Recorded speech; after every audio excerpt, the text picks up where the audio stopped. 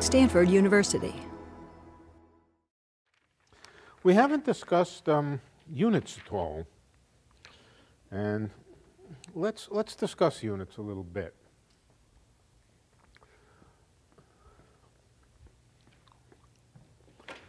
In hadron physics, we've, dis we've um, discussed the idea that a hadron is a string and that it can be excited. That it can be excited by setting it into rotation or setting it into vibration, uh, by exciting the harmonic oscillators that make up the stringy character of the, uh, of the proton or whatever it happens to be, there's a certain energy scale or a certain amount of energy that each excitation will give you. In particular, the energy jump from the ground state to the first excited state. How much is it? What does it depend on? Well, in a string theory, there's really only one parameter. We talked about a little bit. We discussed the idea that if you stretch a string, let me just go back a, a, a little ways. Um, if you stretch a string from one point to another, then it behaves pretty much like a spring. It does behave like a spring. It has an energy, if this is a non-relativistic string, just an ordinary non-relativistic string, a rubber band, or an idealized rubber band, its energy, its potential energy, let's call it E, what does Hooke's law give for the energy? Some K, which is some spring constant, times the separate times the uh, square of the distance between the endpoints. Missing something factor of 2. Okay. Yeah, that's the potential energy that's in a string. And, uh, and we've identified energy, this non-relativistic energy, we've identified it not with the mass of the string, but with the square of the mass of the string. Why? Because we're thinking about this in a frame of reference where the string is moving very, very fast and when non-relativistic physics actually works for the motion of the string perpendicular to the direction of motion. So let's keep that in mind. We're looking at a string that's going down the z-axis like this.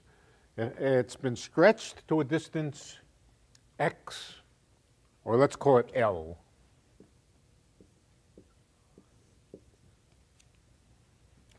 Let's call it distance L. This becomes L squared and we've identified the energy with the square of the mass, L squared. There is some spring constant. Okay. Uh, that spring constant I'll just call K. It says that the mass of the string, which in the rest frame, in the frame of rest at which the string is at rest, that mass is the usual energy, that's going to be the square root of that spring constant times L, perhaps divided by the square root of 2. I'm not interested in square roots of 2 now. So the mass of a stretched string is proportional to its length times some parameter, which I've called the square root of k. The square root of k has another name. It's called the tension. It's the tension in the string, the energy per unit length. Take a mass, then we have a string at rest. We're not looking at it in this frame in which it's moving fast. Its energy is its mass. We stretch it, we stretch it out, and uh, the energy of it grows proportional to the length. It's like surface tension, except now it's linear tension instead of surface tension. Energy proportional to length, the coefficient is called tension. It's the tension in the string. And so there's a tension which is just the square root of, which is just the square root of k. We don't even need to call it square root of k, we can just call it tension. Right? Now, how much energy do we get for each oscillation, for each oscillation, oh, yeah, what, is it, what are the units of the square root of k? Let's work in our favorite units in which the speed of light and Planck's constant are equal to 1. In those units, energy has units of 1 over length. So if energy has units of 1 over length, what's the units of kappa here? A square root of kappa, the string tension. Yeah, it's energy squared, or 1 over length squared. Energy squared, if you like.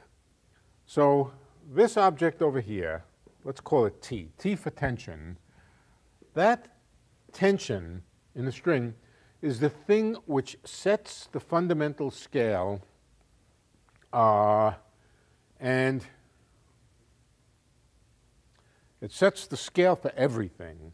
It sets, it sets the scale, it has units of energy squared, and I'll tell you what it does. It tells you that each excited state, each time you excite the string by one unit, it adds to its mass squared essentially that tension. It adds to the, so the thing which has units, the thing which determines the units of the theory are this string tension. The bigger the string tension, the bigger the jump in mass when you excite something.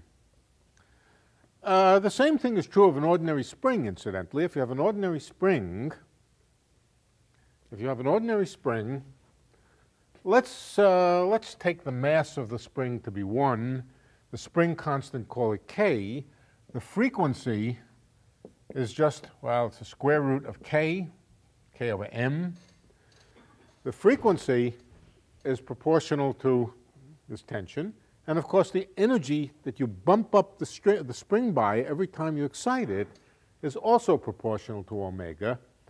So the energy jump, the energy jump between the ground state, the first excited state, next excited state, and so forth, is controlled, the unit is controlled by this string tension. Okay, you could ask, what is the string, and, and string tension is force per unit, or, or, sorry, is energy per unit length.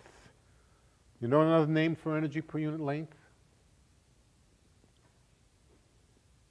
Energy per unit length force. Force.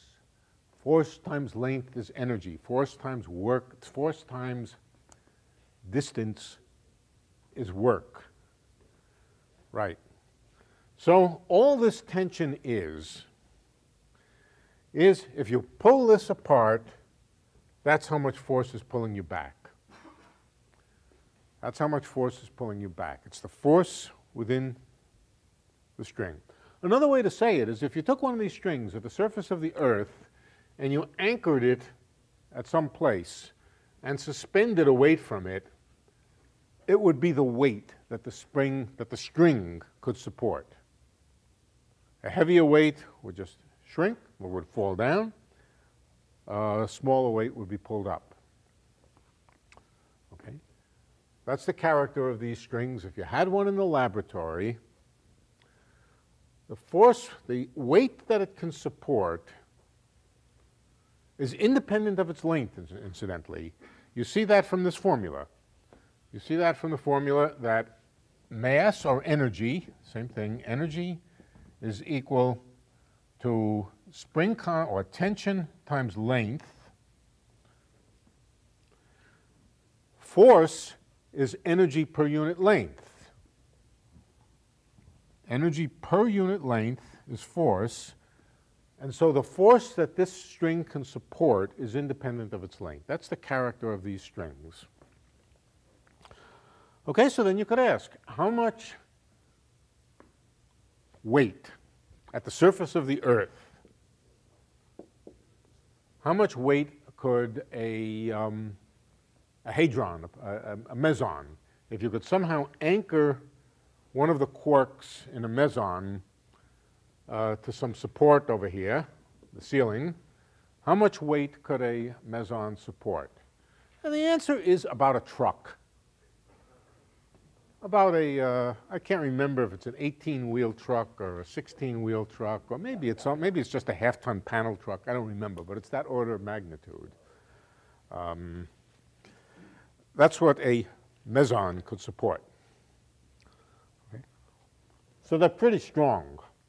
They're microscopic little things, but they're pretty darn strong.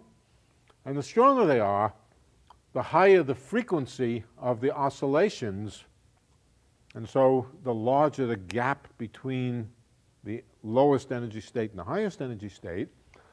How do I actually know this? Did anybody ever support a truck with a, with a, with a hadron? Of course not. What we actually know is the amount of energy that it takes to excite string.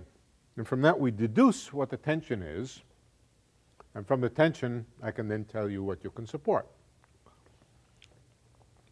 These are not the strings that string theorists imagine are associated with really fundamental particles like gravitons, photons, and so forth. Those strings are much, much stronger. Very much stronger. The tension in them is vastly larger. If, again, you took the Earth and you supported a weight, namely the weight of the whole galaxy, galaxy. Now, of course, this is nonsense. It's not the galaxy that's going to move, it's the Earth that's going to move. But if you could concentrate, if you could concentrate a mass of the galaxy in some small volume and make the Earth heavy enough, now you say if I make the Earth heavier, I increase its gravitational field. Well, not necessarily so. We can make the Earth much bigger but keep its gravitational field the same. If you could somehow keep the gravitational acceleration, the acceleration due to gravity, the same, then the weight that you could support would be about the weight of the galaxy. So the strings that we're talking about in fundamental string theory are vastly higher in tension, much higher in tension. The meaning of that is that the energy in an excitation to excite the string is much, much larger. These are much stiffer strings. They have much, much larger spring constants and therefore much larger frequencies of oscillation. If larger frequencies of oscillation, then larger energies in exciting them. How much energy? Well, the thinking goes that it's probably somewhere up near the Planck energy. If we're talking about gravitons, uh, it's the gravitational scale. Does everybody know what the Planck energy is? I know, I know you've heard of it. Do you know actually what it is? First of all, in num first of all, in numerically, and second of all, what it actually, uh, where it comes from? Yeah. Times c squared. Right. That's a, that's a fairly big energy. It's enough to um, that's a car bomb. Boom. How, how much was it? I didn't hear. Hmm? I didn't How hear what much? We didn't hear it. 10 to the minus 5 grams. 10 to the minus 5 grams. And, and then you take that and square and multiply it by the square of the speed of light. Right. But when I asked you if you know what the Planck energy is, or the Planck length, or the Planck whatever it is, I was asking a more theoretical question. I was asking, do you know what it is in terms of the, of the other constants of nature? Maybe we should go through that. I mean, this is, this is worth doing. Also, how long are these strings? Ah, okay, no, that's the other question. That's the other question. The stiffer they are, the smaller they are. Now, of course, you can stretch them out to any length. There's no limit to what you can stretch them to. But if you ask how much in their ground state, remember, things in their ground state oscillate. How much do they oscillate in their ground state, and what's the, uh, what's the mean fluctuation in the size of these strings, the vibrations of them, then the larger the spring constant, the smaller they are.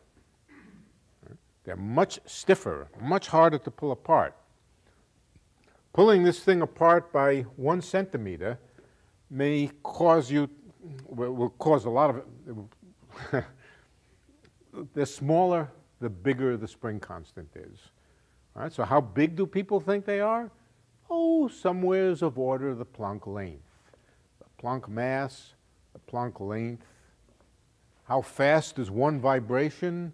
The Planck time. Okay, so let's talk about these Planck units. There, there's some reason to believe it's a little bit smaller than that. Maybe a factor of 10, maybe a factor of 100 smaller, but, uh, but that's, a, that's a fine point. So let's talk about what the Planck length is. I didn't prepare this, so we're going to have to work it out in real time. What is the Planck, uh, the Planck length? What are Planck units, first of all?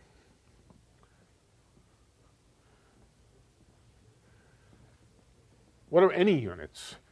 Um, in physics, we need to have three units, mass, length, and time. And our usual choice of units is the usual units that we use in the laboratory are not determined by any fundamental physics. The meter is a convenient unit for, um, for measuring rope, okay? That's where it came from, measuring rope. You, know, you measure rope like that, or cloth, or whatever it is. Um, so no doubt it originated uh, from uh, the length of a human arm, probably. A foot, uh, of course, is also a similar kind of unit, and it, I assume came from somebody's foot, the king's foot. Uh, so what's the real physics then, or what's the real science of what a meter is? The real science is how many atoms does it take to make a length of an arm, a useful arm. It has nothing whatever to do with any fundamental physics. It has to do with biology, how long it takes to make an arm. Not a very deep unit. That's mass. Mass, same thing. A kilogram is a kind of weight that you can manipulate in the laboratory. And a second, a second is about the time that you could measure with a pendulum. That's it. That's where they came from and they have no deeper meaning than that. We would like, for really fundamental reasons in physics, to choose units which have some very fundamental meaning. Now, for example, and if we do, then many of our equations will be much simpler. For example, if uh, the size of a proton comes into various equations in nuclear physics, and the size of the proton is 10 to the minus, uh, 13th centimeters, if we work in centimeters, or 10 to the minus 15th meters, there's going to be 10 to the minus 15th all over. And it's not just 10 to the minus 15th. There's 1.7348, uh, and uh, physics is going to be very messy. On the other hand, there's nothing to prevent us from saying, let's use the unit in which the radius of the proton is exactly 1 then nuclear physics will turn out to look a little bit simpler, and it will. Nuclear physics will turn out to be a little bit simpler, but atomic physics won't look a hell of a lot simpler. Uh, the physics of subnuclear particles, subhadronic particles will not look a lot simpler. There's nothing universal about the proton. The proton is just some particle, that's all. Why use the proton instead of some other particle? No good reason. So there's nothing really universal about the proton, and uh, the rules of physics will not in any way be especially simple if we use the proton. Um, time, same thing. So we would like three units which have some deep fundamental significance. It's equivalent to saying we would like to choose three constants of nature and set them equal to 1. It's completely equivalent to choosing three units, to choose three constants of nature and set them equal to 1. Constants of nature now mean dimensional constants. Right? The size of the proton is 1, but that's not a good one. You want to use things which are really, which really are very universal, three constants. There are three constants in nature which are truly universal, and I'll tell you what they are. The first constant is the speed of light. Why do I say it's universal? Because there's a rule, and the rule is nothing can move faster than the speed of light. Nothing. Everything move is every velocity of every material object is bounded by the speed of light. The use of the word every there tells you there's something fundamental about it, that there's something uh, whether it's protons or electrons or photons or anything else, they all are bounded by the speed of light. So there's something universal about the speed of light. Yeah. Well, I think that the constancy of the speed of light is, The constancy of it, well, yes, yes. The, the fact that it's the same in every reference frame and the fact that it's the same for all particles. Now, when I say it's the same for all particles, you say, wait a minute, wait a minute. Protons don't move with the speed of light. The limiting velocity for a proton is the speed of light. So it, in that sense, it's very universal. So that's the first thing. We want to set c equal to 1. Sounds like a good thing to do. And we do that all the time, of course. The next thing, which is very universal, is Planck's constant. Let me give you an example. Planck's constant is not just some any old constant like the radius of a, of a proton, but it's connected with the uncertainty principle. For every object in nature, the uncertainty principle between the momentum and its position is greater than or equal to h bar. There may be some four or some two in there, I don't remember. But, uh, but it doesn't matter what object you're talking about. You could be talking about an electron, you could be talking about a proton, you could be talking about a bowling ball.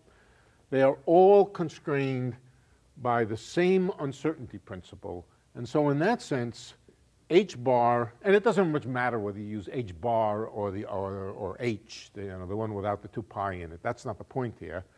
The point is that Planck's constant applies to everything in the world. It's universal. So the next thing you might want to use, not might, but we will, is to set h bar equal to 1.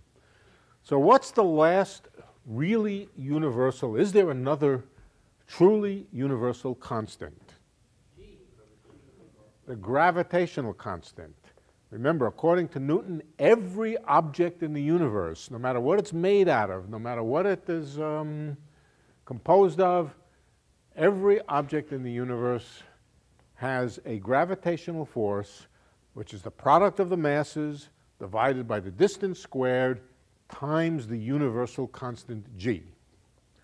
So again, something which applies to everything.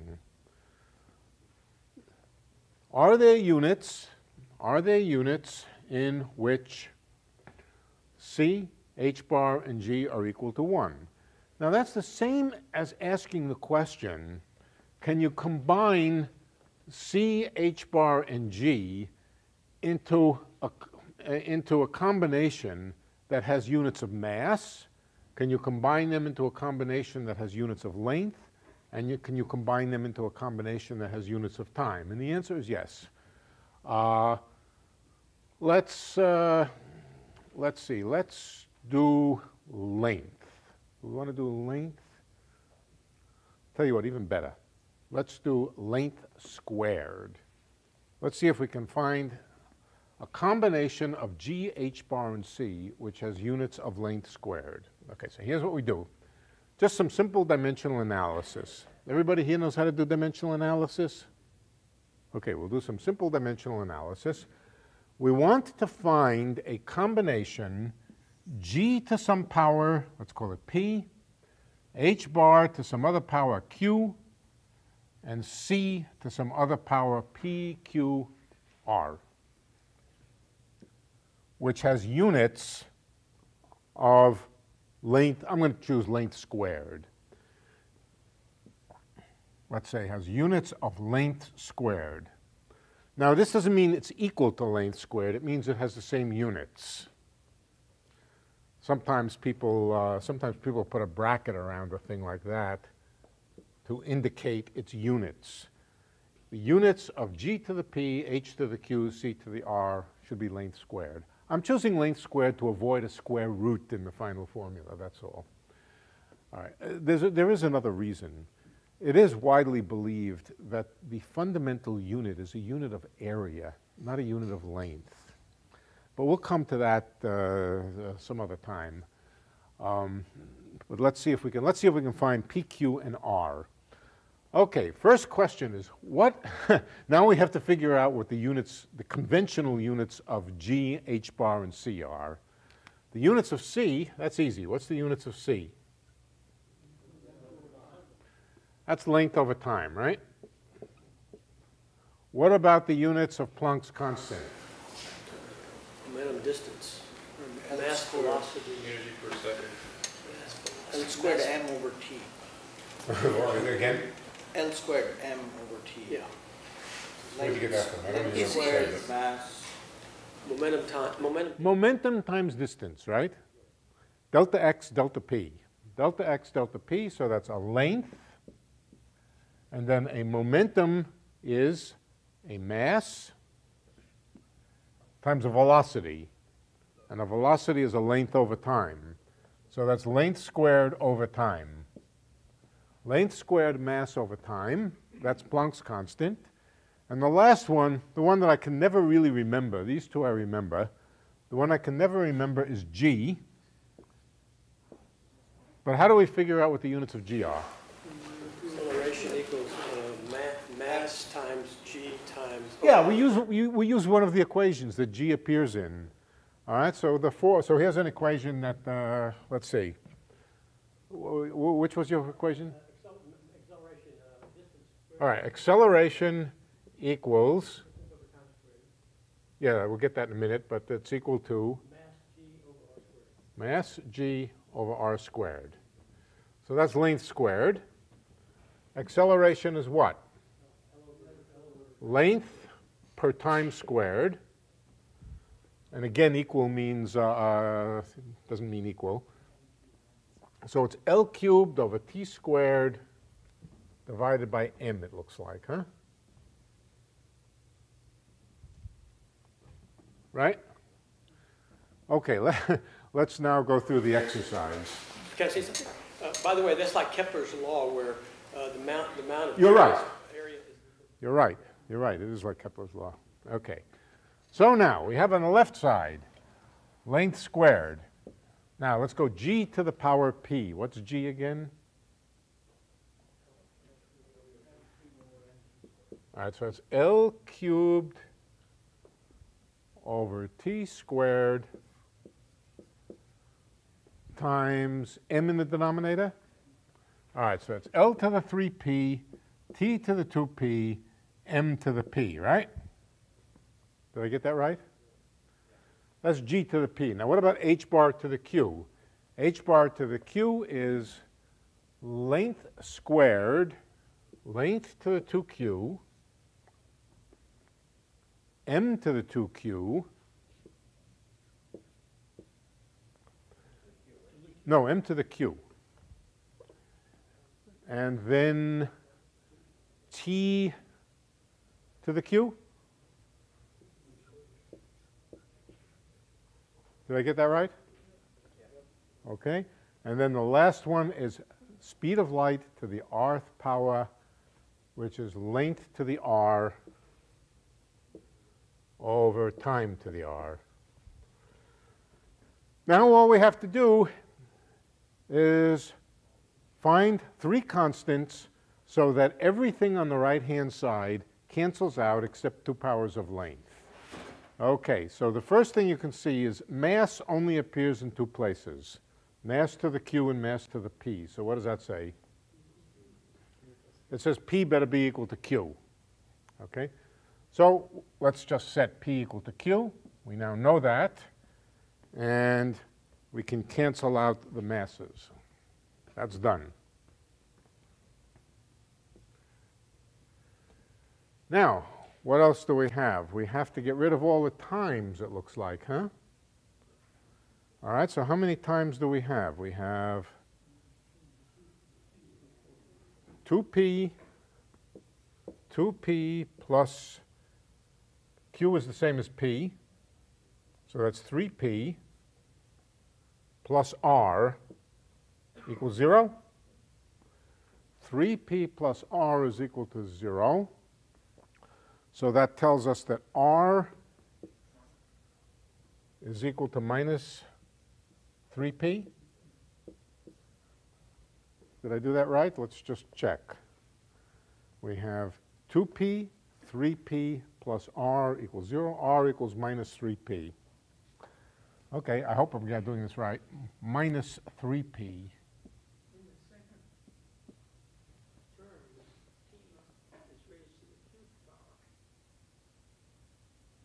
Did I make a mistake? Yeah, yeah, yeah, but Q is P. We've already figured out the Q is P. So if I'm not mistaken, I think we can get rid of all the T's.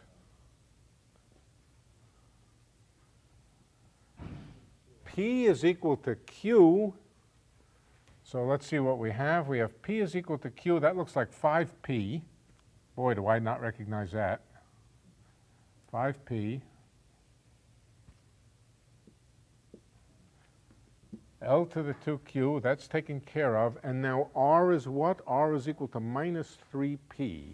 Yeah, and you're done. Oh, Yeah, three P minus two, five P Yeah, you guys, Yeah. so five P minus three P and you're done. two P.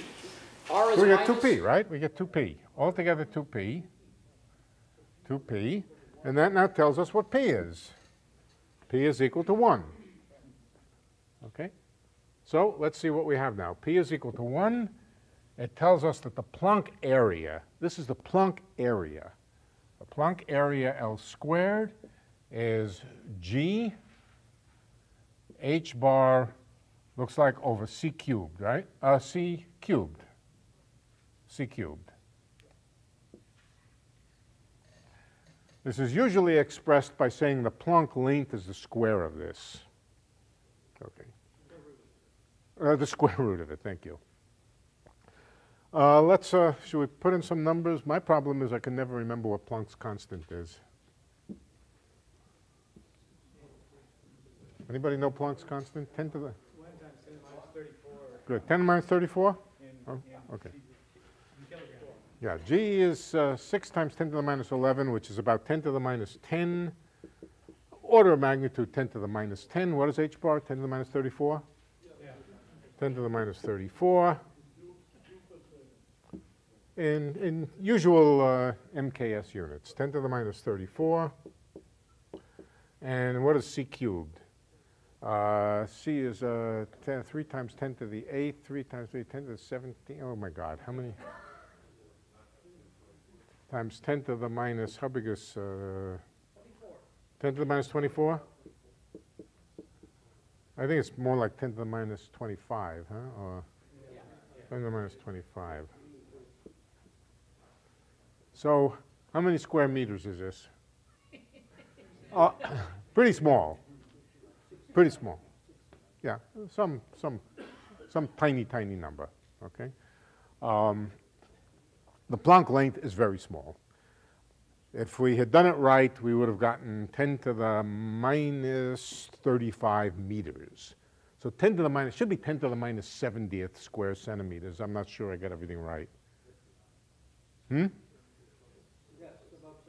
About 70. All right, so that's small. hmm? That's smaller than anything. What's that? Good. Okay, now the Planck time. That's uh, the Planck length is the square root of this.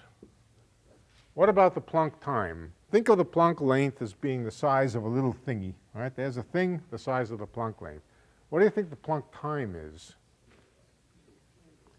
It's the time for a light ray to cross that thing, right? What else could it be?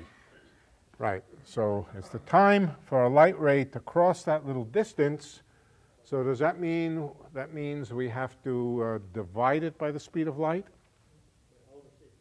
Yeah, we have to divide it by the speed of light. So the Planck length, L Planck, is 10 to the minus 35 meters. The um, Planck time is 10 to the minus 43 or 42, something like that. 42 seconds. 10 to the minus 44, 43 seconds, something like that. Now, what about the Planck mass? We haven't figured out what the Planck mass is, but we could do exactly the same calculation, work out what the Planck mass is. Um, hmm? From h bar, from h bar, and the Planck mass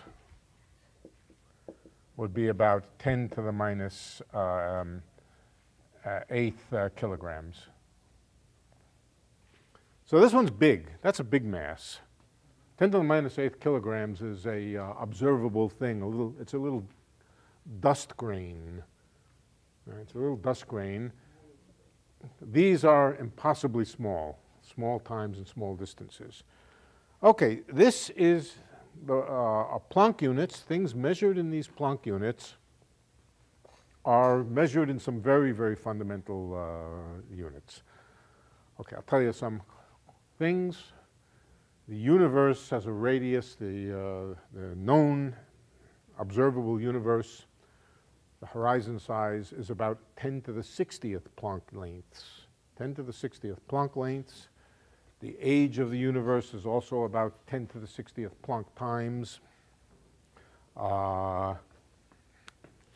and good, that's uh,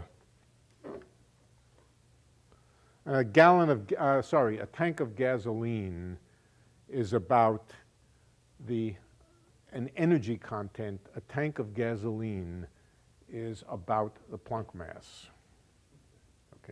So that means you could drive across the country with 10 Planck masses of energy. Okay, right, that's what it means.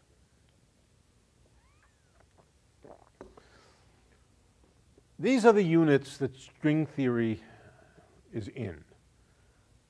In other words, the size of a vibrating string, the fluctuations in it due to quantum uncertainty, order of magnitude, the Planck length. The frequencies of oscillation, or the time, not the frequency, but the period of oscillation, of order 10 to the minus 43 centimeters. Sorry? Sorry, 10 to the minus 43 seconds. Right.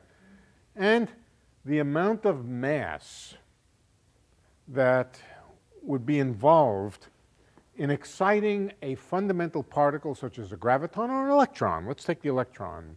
If the electron is a string, you could ask how much energy does it take to excite it? The units are expected to be somewheres in this range, 10 to the minus eighth uh, kilograms.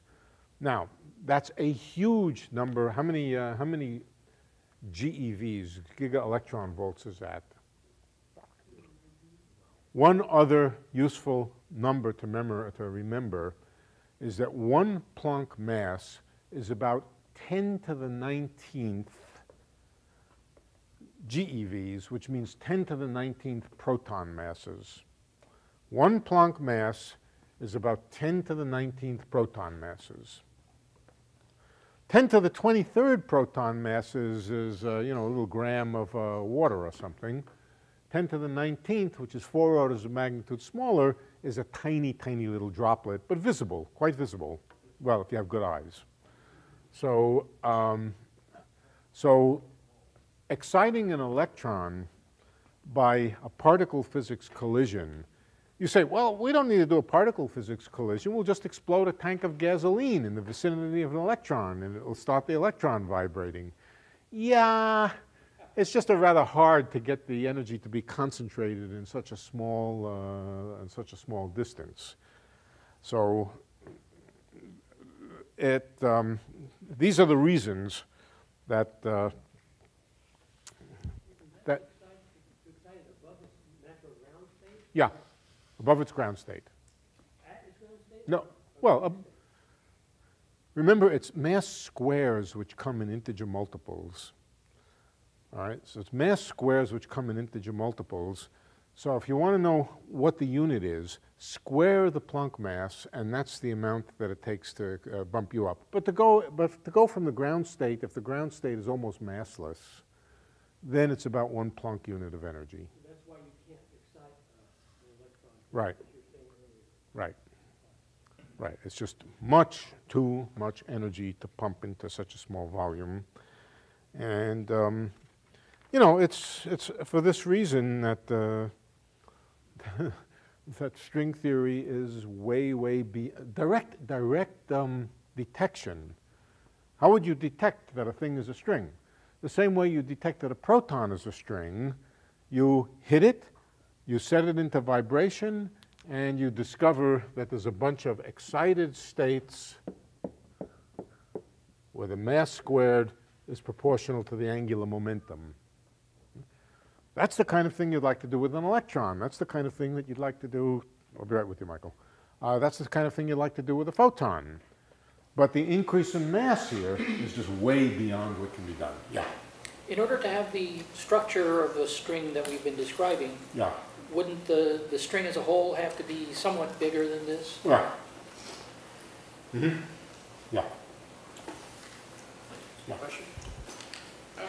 Question? This is just a bunch of arithmetic over here. What makes us think that when we get a number out, 10 to the minus 35th, that it has anything to do with the length of a string? It's a guess. It's a guess. It's a guess um, based on a number of things. No, no, it's not just, no, no. No, it's not just numerology. Um,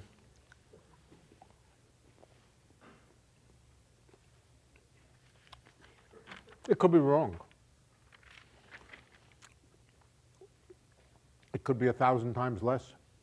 Nobody thinks that the string length uh, scale could be smaller than the Planck length. That, that looks quite impossible. But that the string length scale could be larger and the energy scale lower, that is possible. How much lower? Well, I think from the things that we know about particle physics, we can't say with any precision at the current time really at all. But um, from the precision with which uh, particle physics standard model and so forth seem to work, I think there's plenty of evidence that the energy scale is very, very high.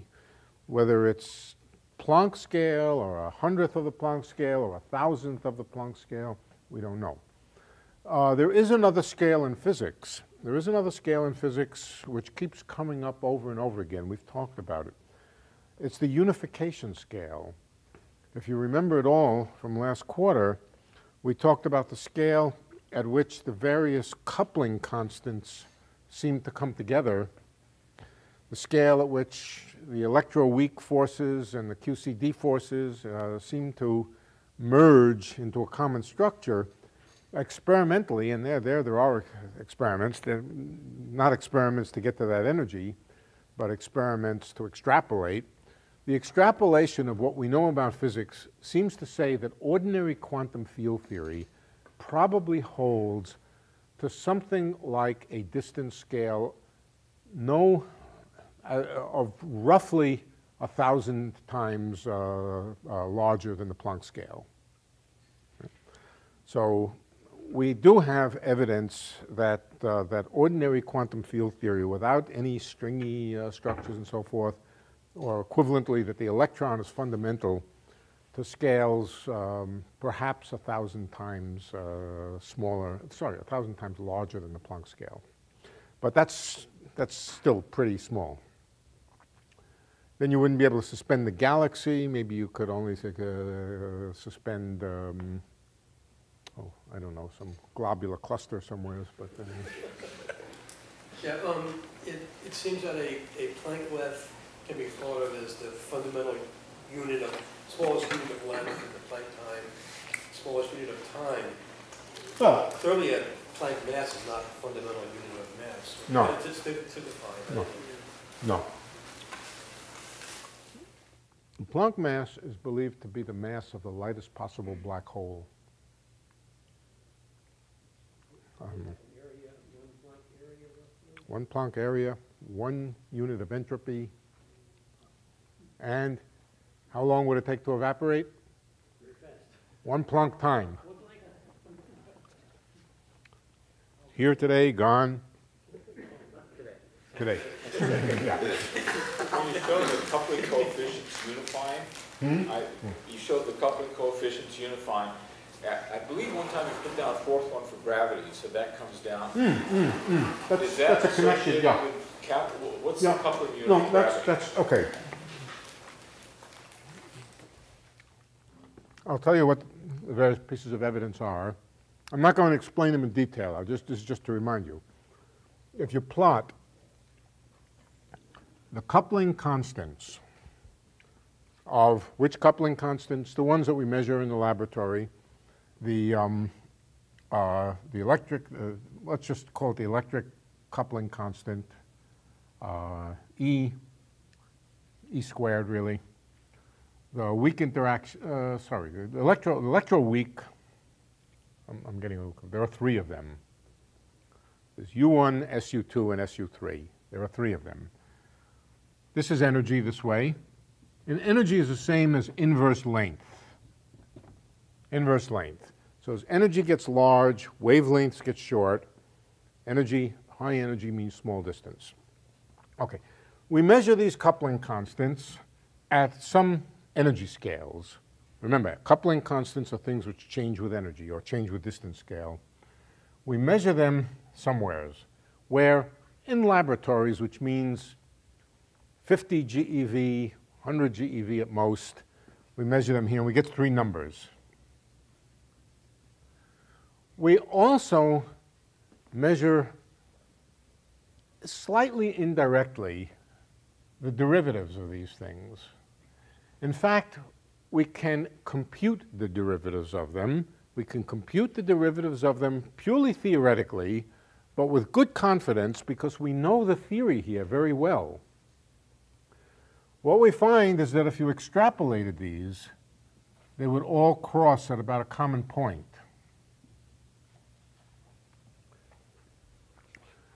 That point, and that point is way, way out here at an energy which is not the Planck scale, but it's about 100 or maybe 1,000 times, somewhere between 100 and 1,000 times smaller than the Planck scale. I think but maybe more like 100. So this could be m Planck roughly divided by 100, somewhere in between. And the Planck scale would be over here. Well, this is a logarithmic scale. On a logarithmic scale, it looks like this. So on a logarithmic scale, a given gap can mean a very, very big change in energy. And it looks like this. Now, of course, we don't know with certainty that there's not all kinds of things going on at higher energy here which would muck this up badly. We don't.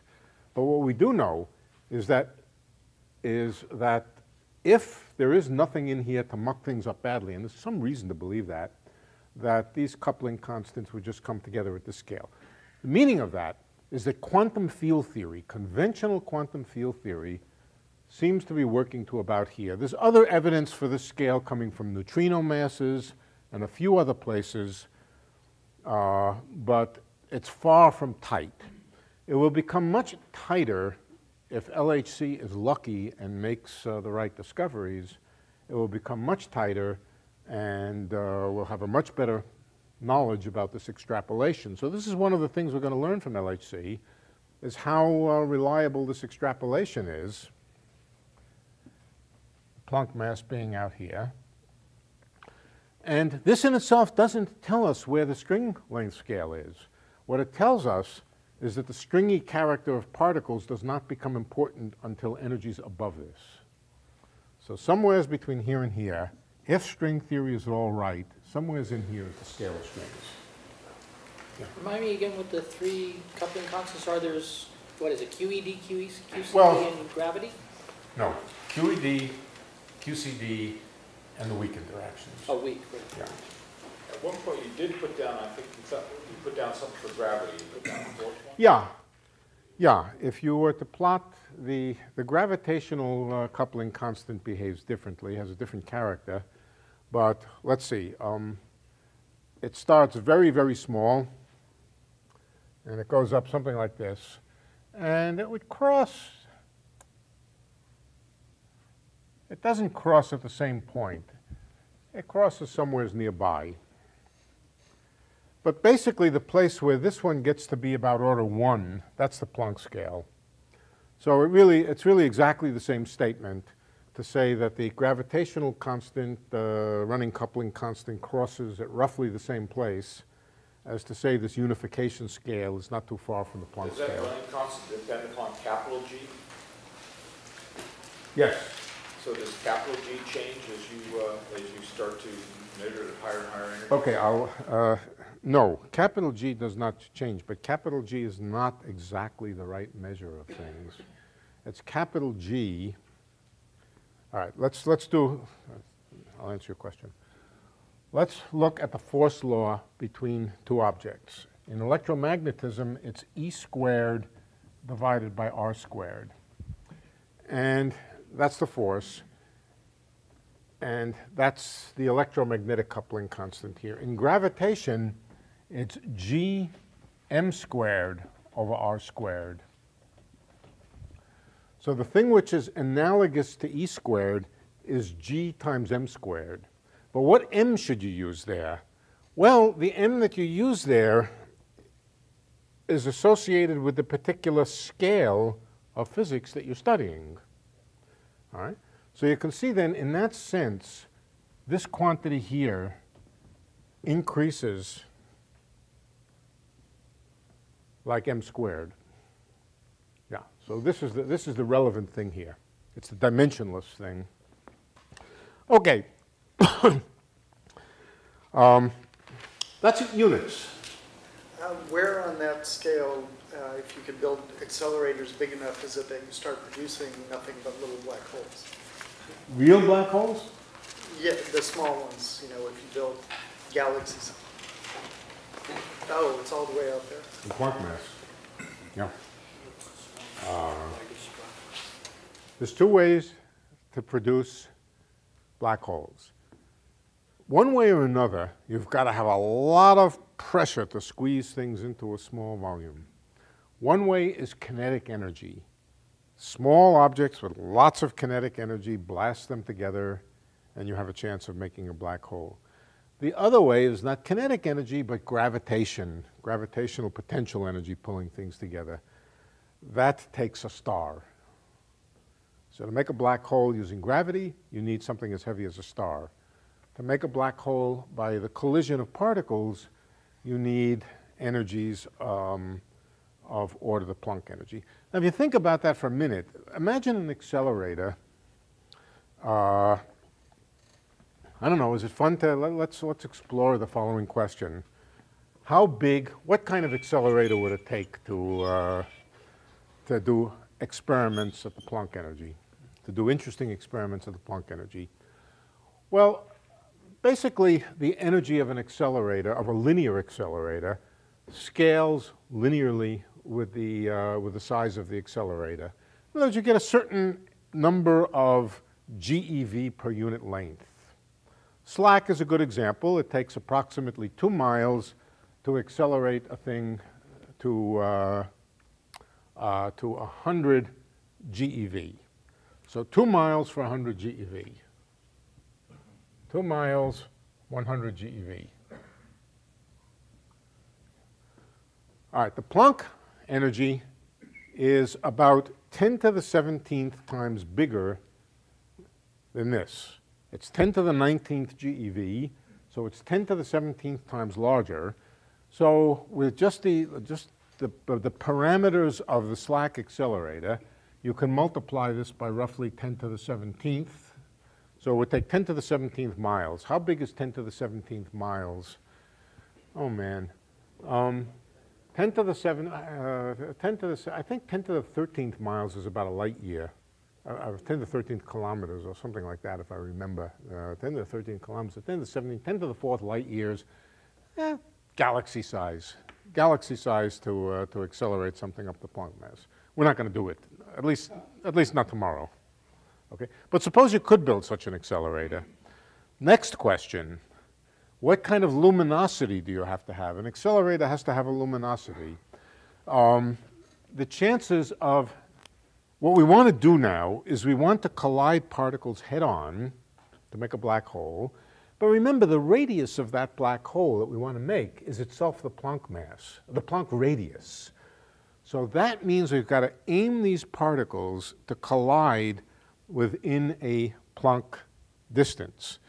Well, no, accelerators don't do that. That's not the way accelerators work. The way accelerators work is you just get a lot of particles going to the left, a lot of particles going to the right, and you get enough of them so that some will collide at the distance scales that you're interested in. In other words, you need big luminosity. What kind of luminosity would you need? Oh, I don't know, let's say, what's a SLAC luminosity? 10 to the 13th particles per uh, second or something? Anybody know? I don't know. Well, 10 to the 13th particles, but that's just, but you know, the distance scales there are pretty big. How much better are you going to have to do? I don't know. Let's say 10 to the 20th particles. 10 to the 20th particles colliding, each with the Planck energy. That's 10 to the 20th tanks of gasoline per second. 10, not, yeah, 10 to the 17th uh, barrels of gas per second to fuel it as big as the galaxy, we ain't going to do it. That's what we would need to explore small black holes and something pretty close to it to explore string theory directly, a really direct test. The question is, are there indirect tests? All right? I think this, the indirect tests will pretty much be very theoretical.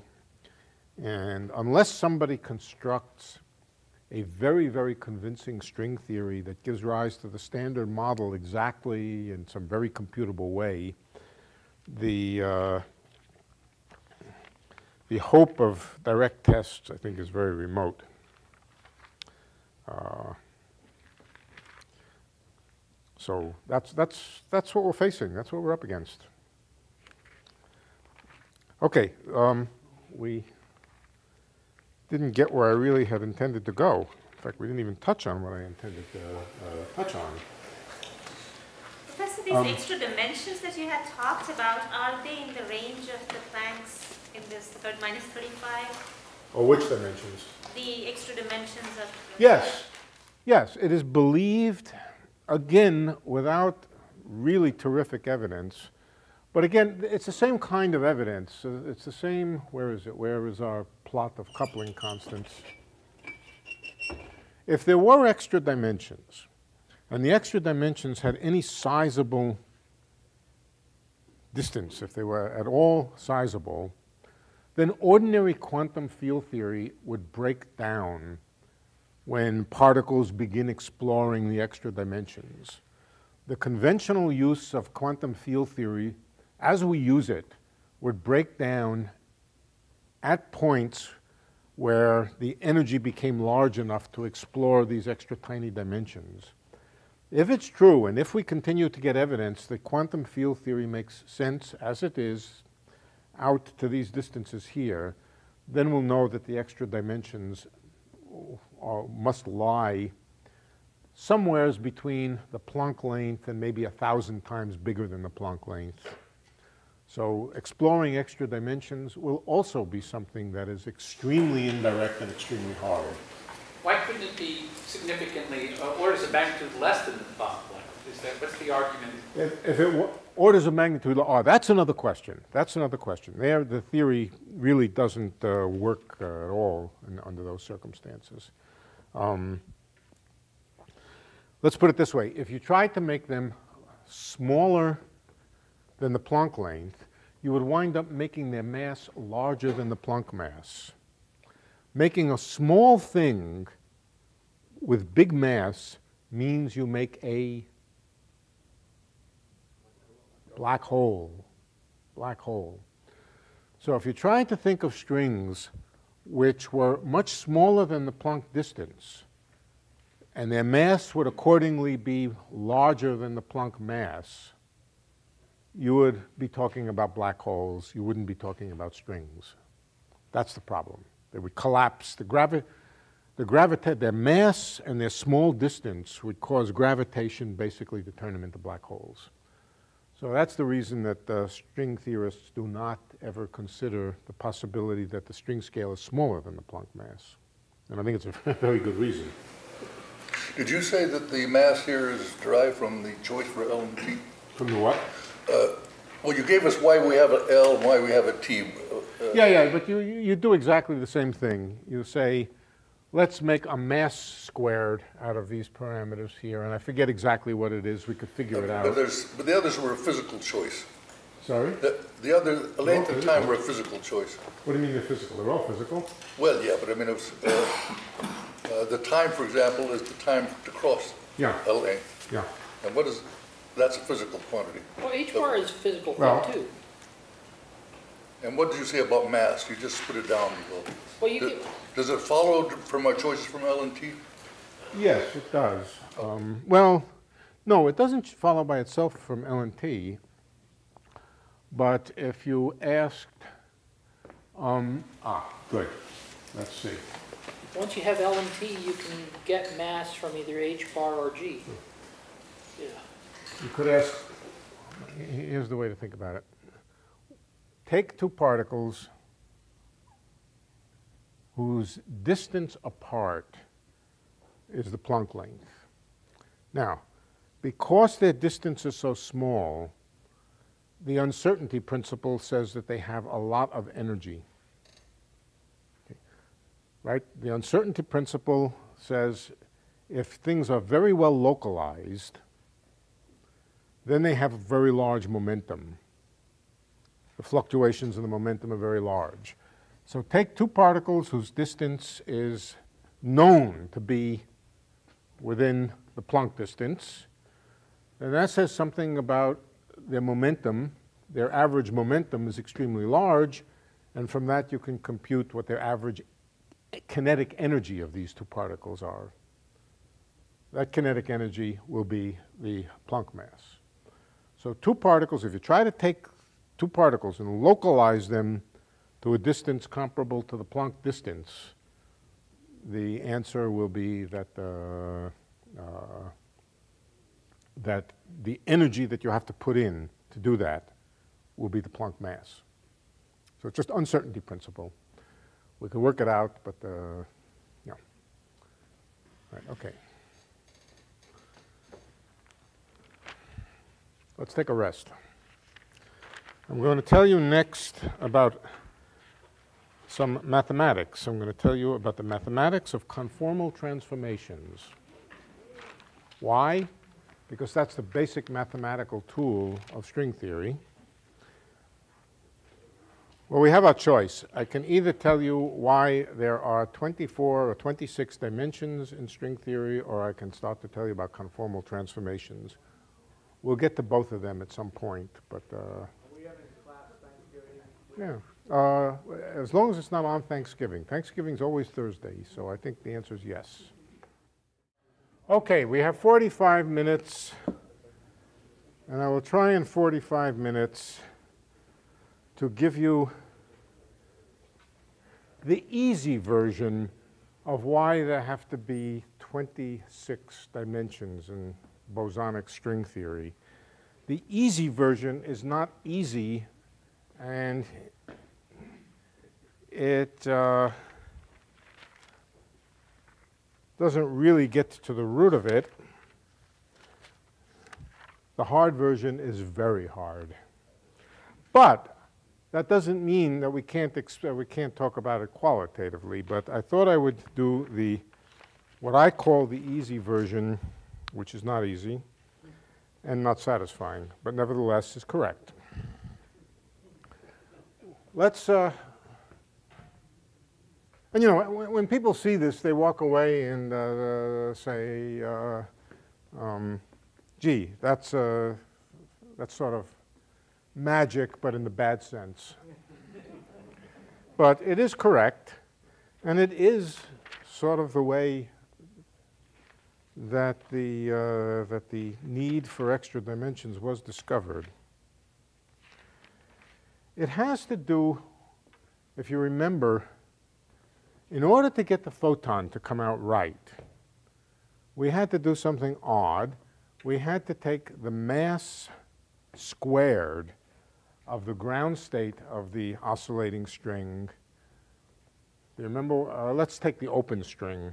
Take in the case of the open string, the mass squared had to be um, minus one unit. That was so that when we applied a creation operator to create the photon polarization, it came out massless. Minus one, one unit on top of that gives us something massless.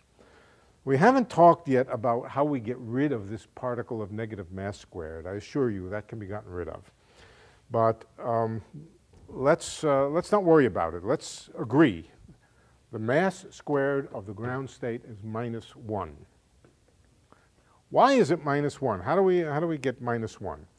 Well, harmonic oscillators have zero point energy. So the ground state energy of this vibrating string should be nothing but the sum total of all of the zero-point energies of the vibrating string. Zero-point energies are all positive, and in fact, they depend on the frequency. Anybody remember what the zero-point energy of a harmonic oscillator is? A half h bar omega, let's forget it, uh, h bar, set it equal to 1. 1 half omega, and do you remember the frequency of the nth harmonic oscillator? It was just n.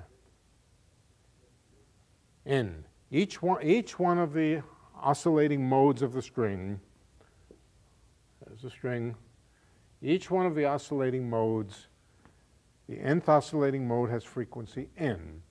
So the ground state energy of the nth oscillator is just n over 2, in some units, is n over 2.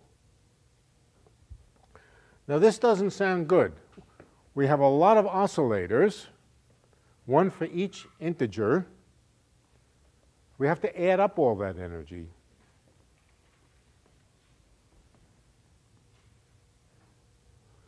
It's not quite easy to imagine how we can add all this up and get minus 1. Right. So there's something strange going on. Okay? And there is. But actually, we don't have to get minus 1. Well, we have to get to something a little bit different. Let's go back to the energy of a very, very fast-moving system. The energy of a very, very fast-moving system has, first of all, it has the overall momentum. Moving down the z-axis, it has the overall momentum. And then on top of the overall, and that's a conserved quantity. And we really don't care about it very much since it never changes during the processes that take place in particle physics. And then for a particle which is not moving, for whose center of mass is not moving um, in the plane, what's the, what's the rest of it? Do you remember? The mass squared divided, I think, by twice the momentum. And that's why we began to identify the energy, the non-relativistic energy, with m squared rather than m. This was the energy. And to make precise this idea of very rapid systems which become non-relativistic, you have to let p become extremely large. Basically, you have to take the limit of an infinitely large momentum. In the limit of infinitely large momentum, uh, this is the form that the energy takes. You say, well, wait, but I I want to take the form of infinitely large energy. This thing just goes to zero. But what you really do is you take E minus P, you subtract the momentum from the energy. That's all right. This is a perfectly conserved quantity, never changes. If it never changes, you don't care very much about it. And then multiply the whole thing by, let's say, 2p. And that gives you m squared. This 2p here, the reason you multiply by 2p is that's got to do with time dilation. The faster a thing moves down the z-axis, the slower its internal motions go. The slower the internal motions, that means the smaller the internal energies. For example, if you have an atom, what's the ionization energy of a hydrogen atom? 13.5 electron volts or something, okay? Now you take that atom and you speed it up and you send it down. In other words, the energy difference between the ground state of the atom, let's not take the, uh, the, the, ionization energy, the energy difference between the ground state of a hydrogen atom and the first excited state is what? I don't know, three, four volts, something like that? Three or four, three or four electron volts. Now what happens as you boost the atom? What happens to the overall energy of it? It increases, of course, right? That's this. But what happens to the energy difference between the, um, between the first excited state and, or between the ground state and the second, and the first excited state? Does it get bigger or smaller? Smaller. And it gets smaller with this 1 over p here. And in fact, the energy of that atom, or the differences of energy between the atoms, are proportional to the square of the mass of the atom divided by 2p. So that's what this formula is. Well, we don't want to, we don't care about this piece. That just has to do with its overall motion down the z-axis. Just subtract it off. It doesn't have to do with the internal motions. And then the p in the denominator here, that's just associated with the slowing down of the internal motions. So let's just multiply through by it. And this is the way we really think of energy. This quantity is the energy, and it's proportional to the mass squared. Okay, the point is now that the actual energy of the ground state has an infinite piece, a piece with, or let's put this piece back. Let's put, let's not subtract this. Let's add this back on the side. Plus, what is it? Plus p squared plus 2p squared. Uh, let me just get this right. P times E, let's take P times E is m squared plus 2p squared. Okay? Notice that first of all is the interesting thing which is the mass squared, which we're interested in, but there's also this infinite piece here. This infinite piece. So it's not really quite true that the, that the energy has to add up to minus 1. It would be okay if it added up to something like minus 1 plus an infinite constant that uh, was similar to p squared. So I'm going to show you how that works. I'm going to show you how that works, how you can add up 1 plus 2 plus 3 plus 4 plus 5, this is all the internal energy, and get something which looks like a constant, namely minus 1, which is what we want to get, plus an infinite piece that can be absorbed into something that's already there. This is a trick of physics that takes place all the time. You, it's, it, happens all the time in all kinds of contexts where you get some infinite answer and you don't know what to do with the infinite answer, but you realize that there was a, that the thing which is becoming in, infinite already has a constant piece in it that you just add the extra infinity to the constant piece. An example is the energy of vacuum, the energy of uh, just the mass of a, a mass of a particle. There are self energies, all sorts of things like that, where you can hide infinite constants into things which are already there. I'm not saying this is a satisfactory state of affairs. It's just something that we do all the time. The energy in this room it has zero point oscillations from all of the photons and everything else, not from the photons that are here, but from the uh, oscillations of the electromagnetic field. How big are those oscillations? The energy? Infinite. What do we do with it? We just subtract it off by saying we could add a constant to the energy of the room and it wouldn't make any difference. So just get rid of it. It's the same thing here. We're going to get a constant piece which is just infinite but constant. As long as it's constant, it never affects anything. Plus a term which looks like this with, a, uh, with an additional mass squared.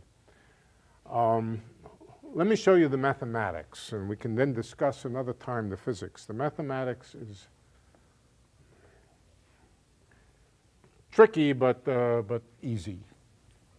The mathematics is just a question of adding up 1 plus 2 plus 3 plus 4. It's just a sum here. 1 plus 2 plus 3 plus 4.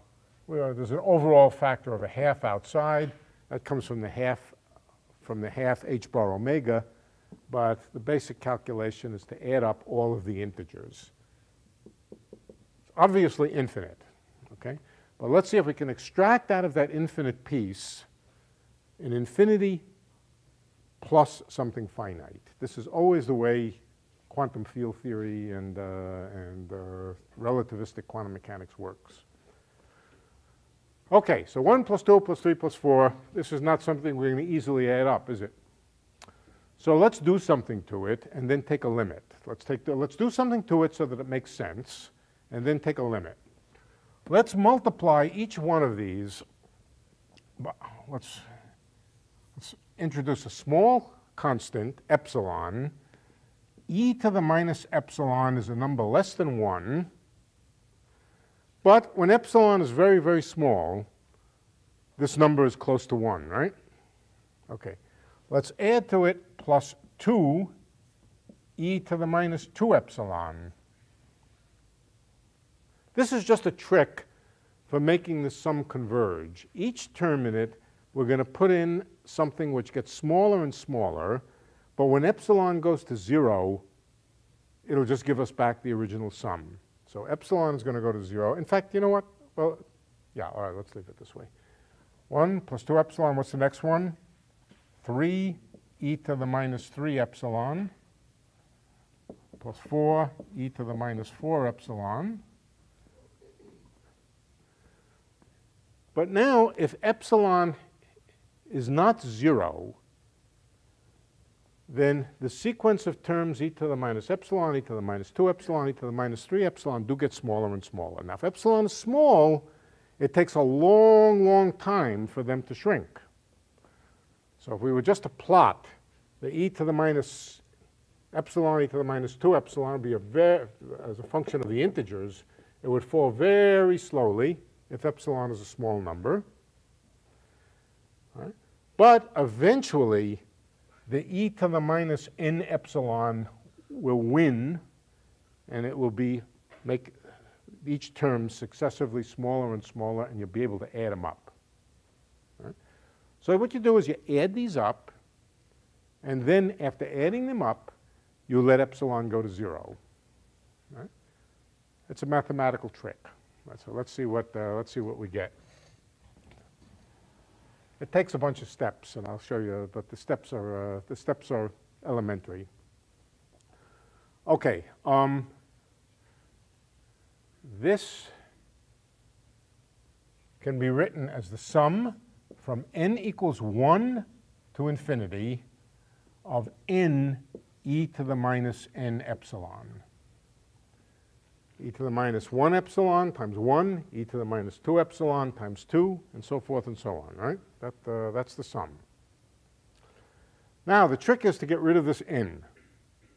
First trick is to get rid of this n, and the way to get rid of this n is just to, is to take the sum without the n in it and differentiate with respect to epsilon. What happens if we differentiate with respect to epsilon? What does the derivative with respect to epsilon give? It brings down minus n. All right, so this is equal to minus. So in other words, we, wanna, we really want to put minus here. This is equal to the original sum we were interested in, n e to the minus n epsilon. Okay, that's the first step. Next step is to observe that we can add the series up. This whole series is a geometric series. It starts out, let's just see what it is. It has an e to the minus epsilon plus an e to the minus 2 epsilon plus an e to the minus 3 epsilon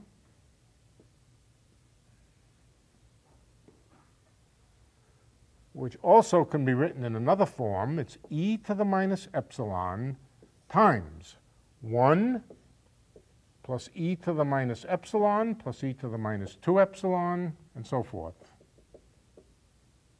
I pulled out a factor of e to the minus epsilon. Do you know what this is? Exactly. This is a geometric series, 1 plus a number plus the square of the number plus the cube of the number. And so we can add all of this up and what do we get? We get e to the minus epsilon divided by 1 minus e to the minus epsilon. Okay, that's, that's the thing that we want to differentiate with respect to epsilon. That's this, and put a minus sign in front of it. Okay, this is, this is something uh, you can do it uh, for homework, but I'm going to show you roughly what happens. Oh, but in the end, we're interested in small epsilon. We're interested in small epsilon. So um, let's, uh, let's see, what do we want to do with that? Yeah. Let's expand it for small epsilon. Let's first expand it for small epsilon and then do the operation and let epsilon go to zero. We're interested in small epsilon. So what is e to the minus epsilon when expanded in terms of epsilon? 1 minus epsilon plus epsilon squared over 2 dot, dot, dot. We're only going to need things to power epsilon squared. We won't need things beyond that. And of course, there are more, but uh, we won't need them. Now, what about the denominator? What's in the denominator? We have 1 minus. Okay, so let's write out e to the minus epsilon minus 1. I think it's plus epsilon minus epsilon squared. And what, uh, let's go to the next one. I think we're going to need the next one, as you'll see. Uh, epsilon, epsilon squared over 2, right? What's the next one?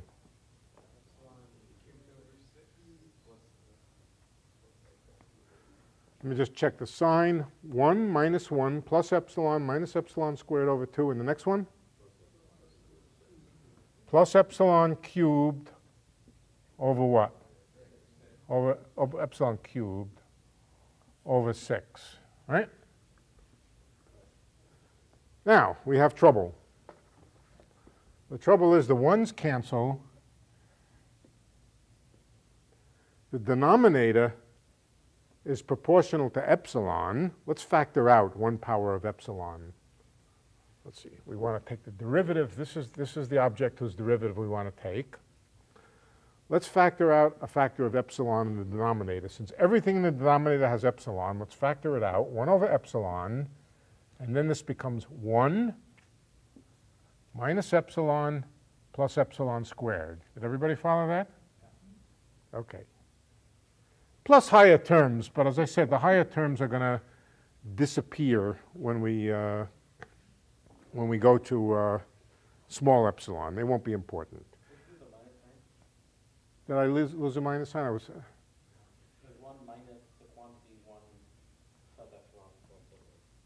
well, I thought I got it right. All right, let's, should we do it over? 1 minus, put in brackets, 1 minus epsilon plus epsilon squared over 2 minus epsilon cubed over 6. All right, everybody happy with that? Now, the ones are going to cancel.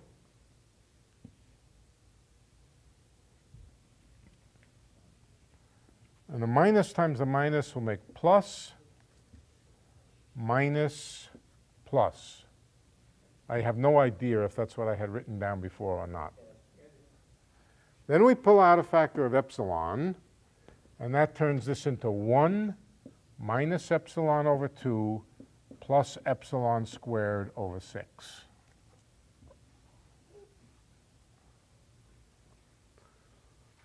All right, now the trick is we're expanding everything in powers of epsilon, but here we have a thing in the denominator. I don't want this in the denominator. I want in the numerator. So how do you deal with a thing in the denominator like this? You use the formula that 1 minus a small number, let's just call it s, is equal to 1 plus s plus s squared plus uh, s cubed and so forth. Here's your s. Oh, did I, did I leave out something? No, I think I got it right, did I? Did I, I think I did everything right. I think I did everything right. So what we do is we take what's in the denominator here and we expand it to get all the epsilon dependence in the numerator. Let's see what we get. I think we're going to get 1 plus epsilon over 2 minus epsilon squared over 6. But then there's a term coming from squaring the small quantity here. If I keep things to order epsilon squared, all I'm going to get is, let's see, I think plus epsilon squared over 4, I think. But you can expand it out yourself, um, something like this.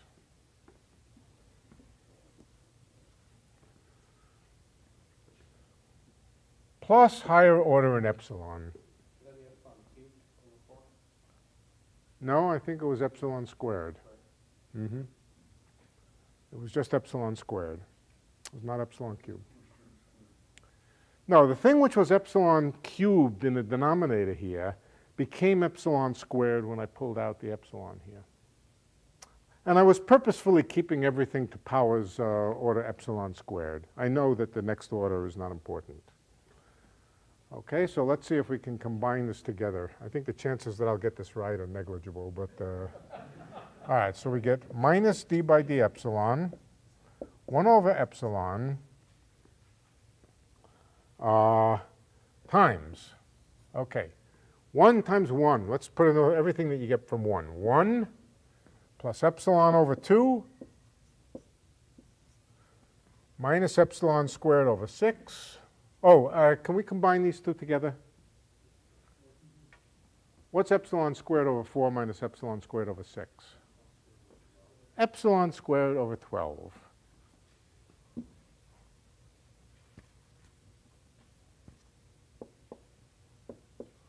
Right? Okay. How did you do that so fast?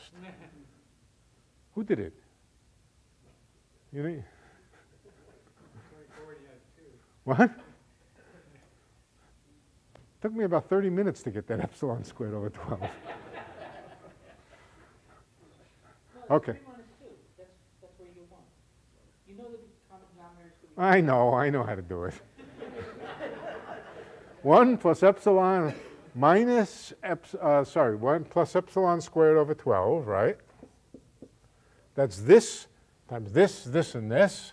Then we get minus epsilon, minus epsilon times 1, and then uh, minus epsilon squared over 2. But then from here we get something of order epsilon cubed, and I'm not interested in keeping anything of order epsilon cubed. That's too high in order. I don't care about it. We'll see why in a moment. And then we have plus epsilon squared over 2,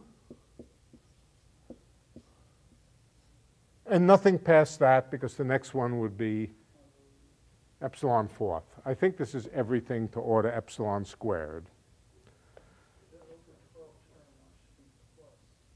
Should it be plus? No? I think it should be plus, right? Yeah, right. Looks right. 1 times epsilon squared over 12. Okay, now, epsilon over 2 minus epsilon, that's minus epsilon over 2. We get rid of this. And these two cancel. So there's our formula right there. As we'll see, anything of higher order is not going to be interesting to us. Okay. Look at, well, uh, let's for, for, for first focus on the one that's easiest. The easiest term is this epsilon over 2. It gets multiplied by 1 over epsilon. That means it's just 1 half. And what happens when you differentiate 1 half with respect to epsilon? Is 0. So this is, we don't have to write it. It's not, it's not there. Okay. Now we have a term which is 1 over epsilon. That's bad news. This is, this is uh, something infinite at epsilon equals 0. And remember, we're going to go to epsilon equals 0. All right, what's, what's the derivative of 1 over epsilon? Minus 1 over epsilon squared, right? Minus 1 over epsilon squared. Oh, and there's another minus sign here. So that's plus 1 over epsilon squared, I think. Yes. And then 1 over epsilon times epsilon, the eps one of the epsilons cancel, and then you differentiate with respect to epsilon. What do you get? Minus 1 twelfth.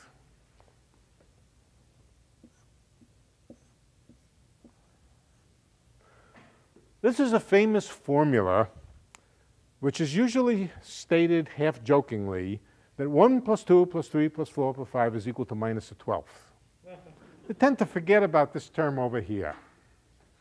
Okay? And the reason is that this term combines, well,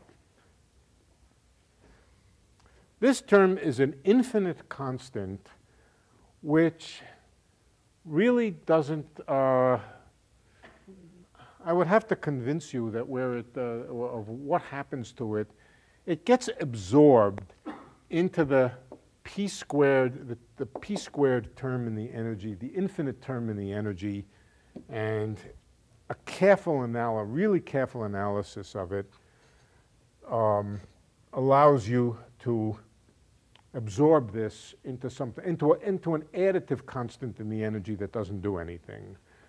For the moment, you'll have to accept that. Uh, the real answer, the really right answer, the really right answer is that in good string theories, properly defined string theories, this isn't there altogether. But I'm not going to tell you why now. I'm not going to tell you why now. I'm just going to tell you this infinite constant is not important. You know the famous story of Dirac and uh, Pauli that, uh, that uh, Dirac calculated the vacuum energy and found out that it was infinite. And they said, uh, well, since it's infinite, I don't care about it, we'll throw it away. And Pauli turned around to him and said, just because it's infinite doesn't mean it's zero.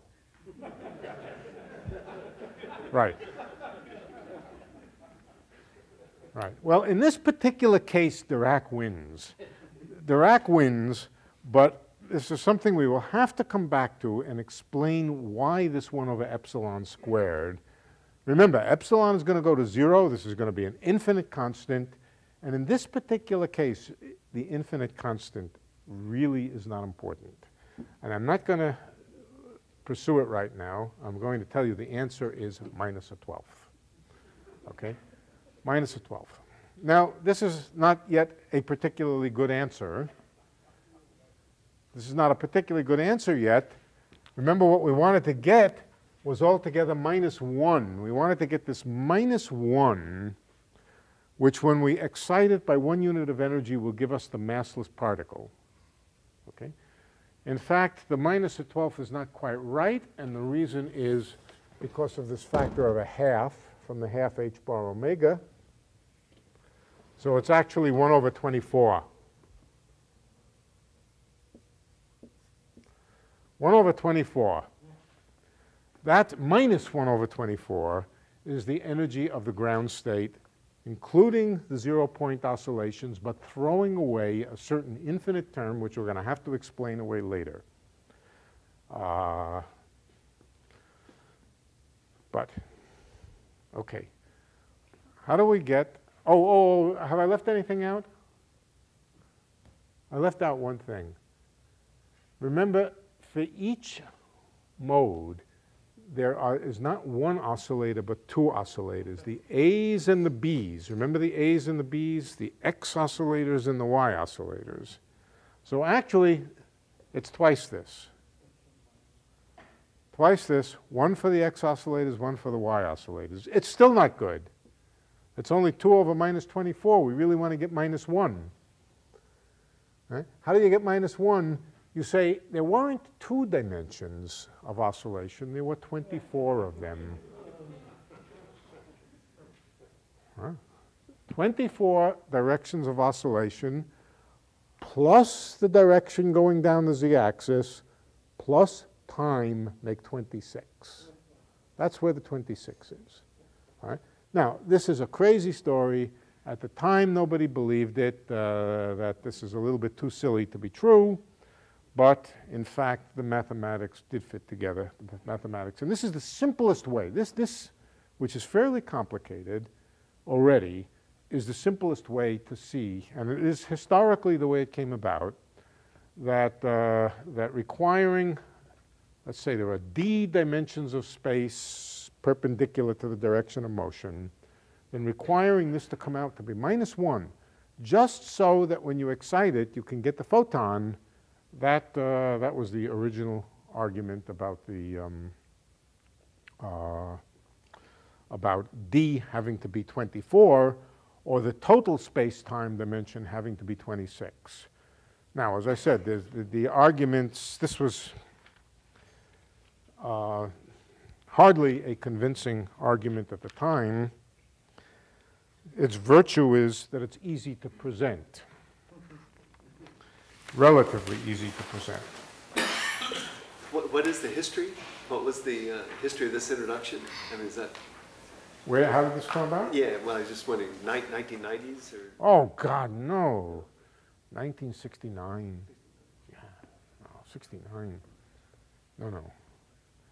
No, this goes back to uh, 1969, 19, eh, yeah, 1969, I would say. Maybe early 70, but I think it's still 69. Yes, I, well, by this point, people were just exploring the mathematics of string theory. And they had, and um, Well, experimentally, you had the Regge trajectories, but at some point, when the mathematical structure was put in place, people began to explore it for its own sake. It was realized rather quickly that uh, there was some kind of funny thing going on, that there was a spin one particle, one unit up, one unit up from, but it didn't have all the states that it needed. It had two polarizations and not three polarizations. And it was realized rather quickly that this could only be the photon or something like a photon. But that then left the question what was this zero point energy that had to be minus one?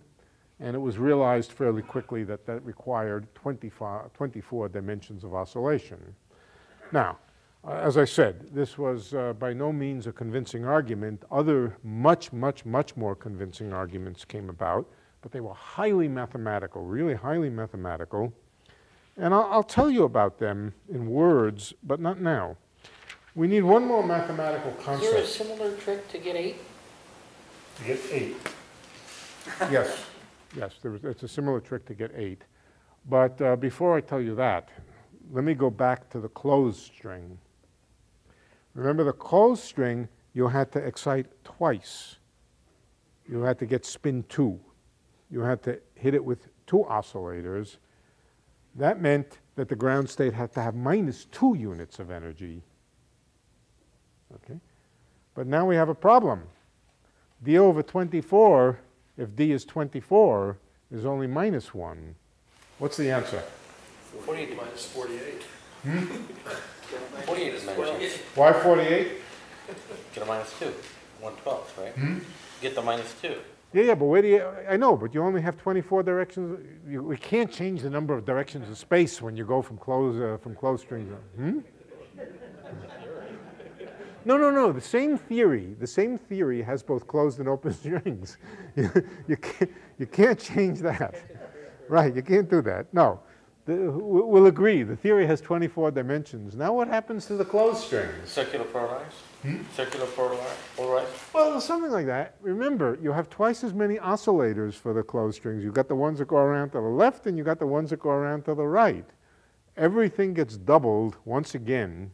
You have not only an oscillation for every direction of space, but you have one for right-going modes and one for left-going modes. So in fact, it's true that you get twice as many, which means that the ground state energy is minus 2, which is just exactly the right thing so that two units of oscillation will bring you up to massless again. That began to smell better. It began to smell, smell better, but still far from, uh, far from a convincing argument. The real thing has to do with something called conformal invariance. So we're going to take up conformal invariance next time. What conformal invariance means. If you want to prepare yourself, learn a little bit about complex function theory. Very little, not much. We're going to do a very little bit. Learn what the Cauchy-Riemann equations are. If not, I will explain it. Uh, and we will come to why string theory is the theory of Turkish taffy. You know what Turkish taffy, you pull it this way, you pull it that way, you stretch it out that way, you stick it together, and somehow it all stays together. Uh, conformal transformations. Anyway, I think we're finished for tonight. We've. Cauchy-Riemann equations.